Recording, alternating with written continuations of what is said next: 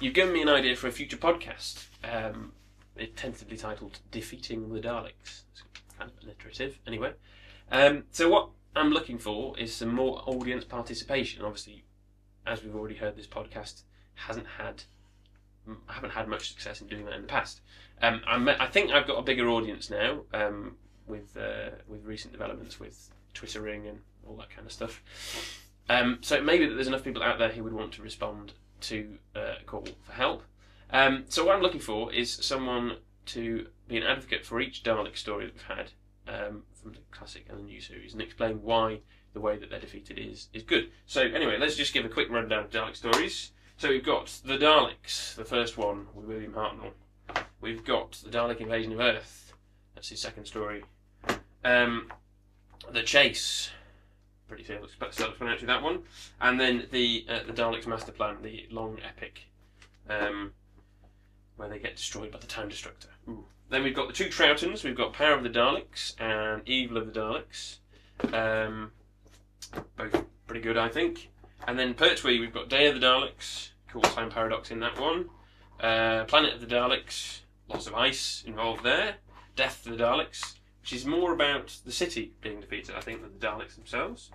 Uh, then you've got the two Tom Baker ones. You've got Genesis of the Daleks, which is generally held as being a classic. I'm not a big fan of it, to be honest. And Destiny of the Daleks, which I think is quite a lot of fun. And then we've got the uh, each of the remaining three Doctors of the classic era.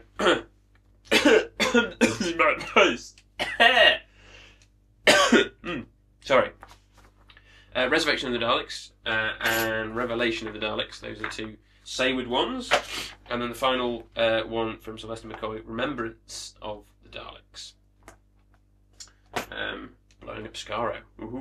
Um, and then obviously from the new series we've got Dalek and Battle of Piling the Ways for Christopher Eccleston. And Tennant's 3, Army of Ghosts Doomsday.